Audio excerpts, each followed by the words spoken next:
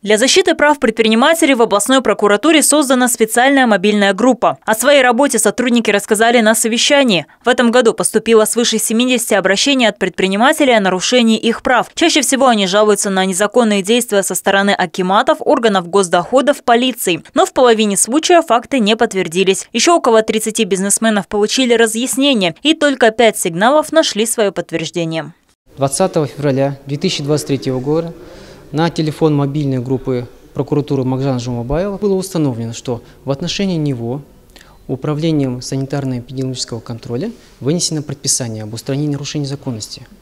Мобильной группой было установлено, что данное предписание незаконное, так как оно противоречит требованиям предпринимательского кодекса.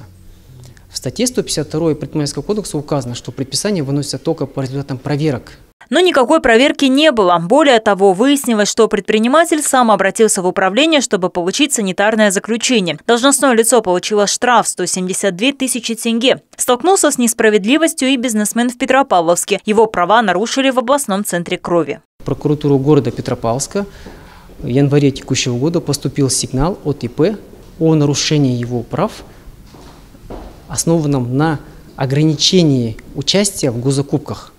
То есть когда предприниматель, а, участвуя в госзакупках, принес все свои документы, и его незаконно ограничили в участии. То есть его конверт с необходимым документом не вскрыли, ссылаясь на то, что у этого предпринимателя отсутствует доверенность от руководителя этого ИП. После госзакупку отменили, предпринимателя допустили к участию. Должностное лицо привлекли к дисциплинарной ответственности. Всего такое наказание за нарушение прав предпринимателей в этом году понесли четыре человека. Агирим Хамзина, Шерния Сыманов, МТРК.